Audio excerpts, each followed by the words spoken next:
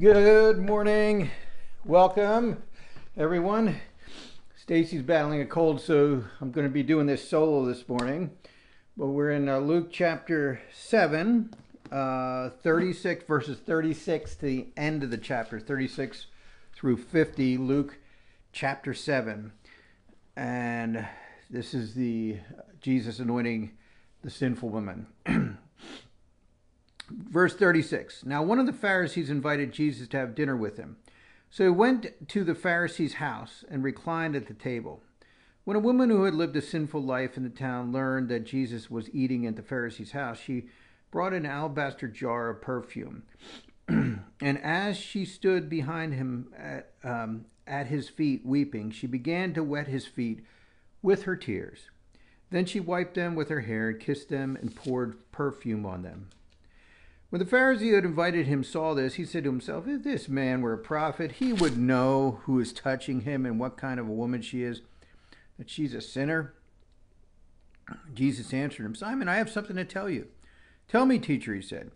Two men owed money to a certain money lender. One owed him 500 denarii, the other 50. Neither of them had the money to pay him back. So he canceled the debts of both. Now, which of them will love him more? Simon replied, I suppose the one who had the bigger debt canceled. You have judged correctly, Jesus said. He then turned, then he turned to the woman and said to Simon, Do you see this woman? I came into your house. You did not give me any water for my feet, but she wet my feet with her tears and wiped them with her hair. You did not give me a kiss, but this woman, excuse me, from the time I entered, has not stopped kissing my feet. You did not put oil on my head, but she has poured perfume on my feet. Therefore I tell you, her many sins have been forgiven, for she loved much, but he who has been forgiven little loves little. Then Jesus said to her, Your sins are forgiven. The other guests began to say among themselves, Who is this who even forgives sins? Jesus said to the woman, Your faith has saved you. Go in peace. Let us pray. Father God, thank you for your word, the truth of your word, and the work of Jesus, the compassionate work of Jesus.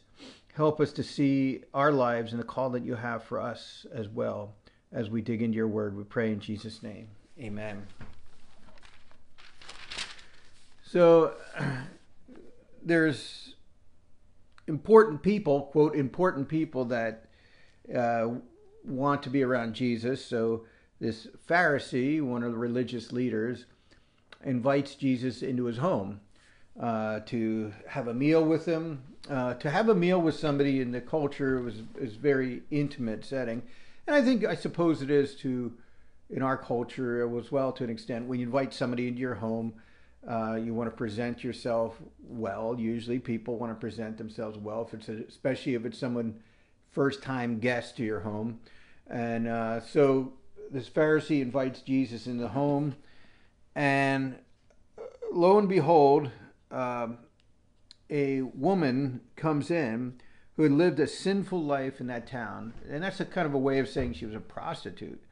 So the prostitute has comes in, and because she learned that Jesus had was eating at the Pharisee's house, so this woman had likely heard the teaching of Jesus been to some of the the things that seen some of the things he had done, heard his preaching, heard the teaching, and she was moved by that.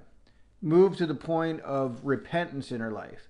Moved to the point where she surmised that if she could just come to Jesus, she could be forgiven. And it is it is Satan's deception for us to think that we can't we've done something so wrong in our life that we can't go to Jesus. He wants to prevent us from going to Jesus, and Jesus stands ready to receive us. She knew this. She surmised this. If you look at the the people that went down the wrong path in their lives uh, and didn't come back to Jesus, it doesn't end well, right? So, for instance, Judas uh, betrays Jesus. Could Judas have been forgiven? Yes. But Satan's deception on Judas was you can't be forgiven. And so he goes down a path that is destructive to himself.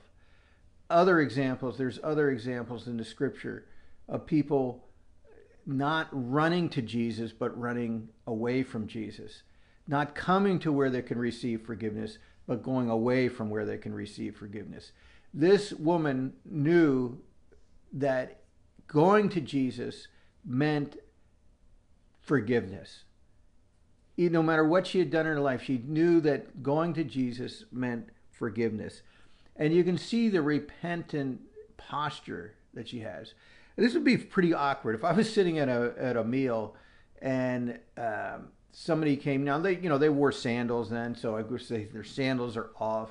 They're reclining at the table, and somebody comes up to you and is wetting your feet with their tears and wiping your feet with her her hair, I would say I would be in a kind of an awkward position. Um, but she is so moved. She's oh so overwhelmed that she had heard what Jesus had said before, some of his teaching, and she knew, she just knew she could be forgiven. And she wants to change. She wants to have new life, and she comes to the person who can give to her new life. That is what's so beautiful about this. But of course, there's other people that um, when people are moved by Jesus, they're they're skeptical. How could this woman be forgiven? Doesn't Jesus know who he's dealing with? This is a this is a big sinner, and so uh, the Pharisee questions Jesus's uh, credentials, right, if you will. Oh, if he were really a prophet, he would know that this woman is a sinner. Jesus knew full, well who this was. But the observation, the external observation of this religious leader was there is no way I would get near her and uh, soil myself by being in her presence. But Jesus allows her to come. And more than that, he stands ready to offer forgiveness. And so Jesus tells a story to this Pharisee and saying, hey, you know, there's there's two men that owed a uh, one owed a little bit of money and one owed a, a whole ton of money. Um, so 500 denarii.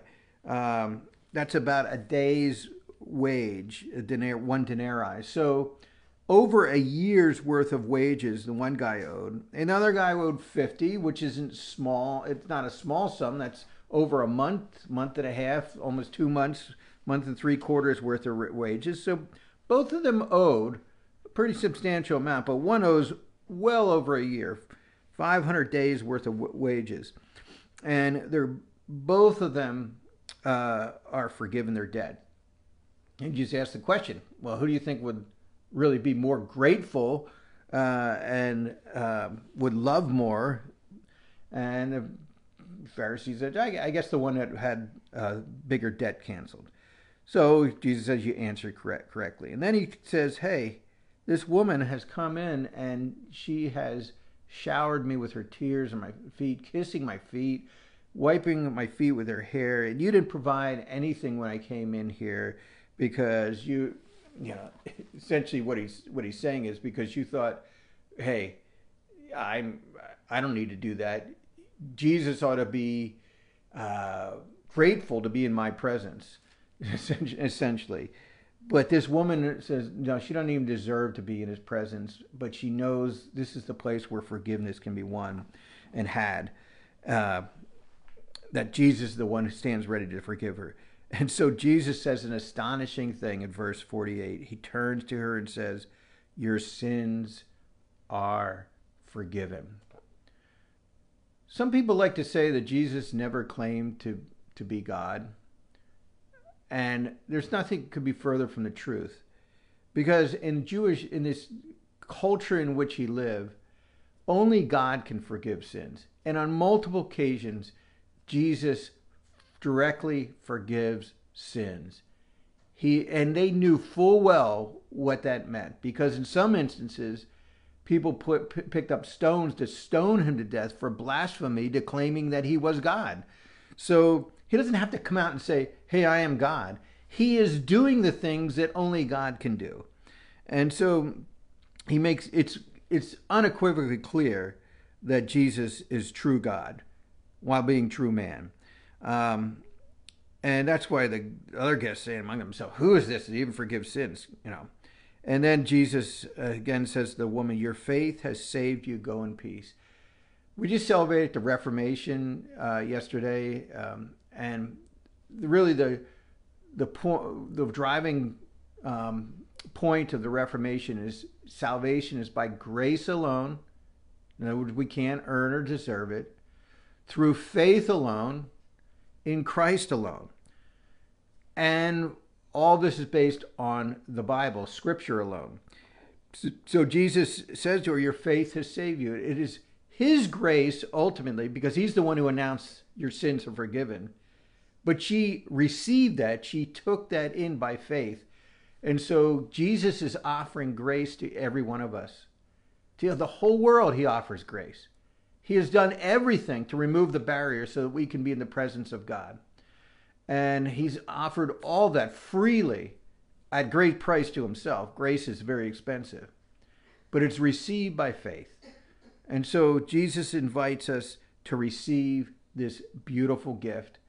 And that beautiful gift is for you and it's for me it's nothing we've earned or deserved, but it is given to us freely.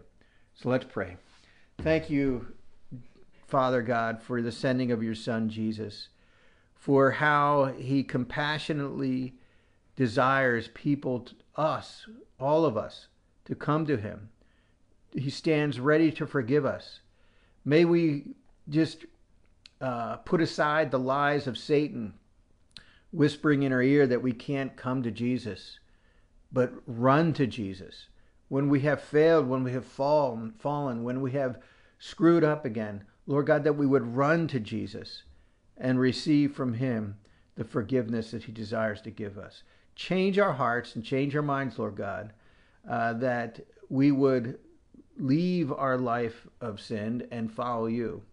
Um, but in all cases, Lord God, we know that we cannot do that apart from your strength and the indwelling power of the Holy Spirit. Lead us and guide us, we pray, in Jesus' mighty name. Amen. Have a blessed week, folks. Take care.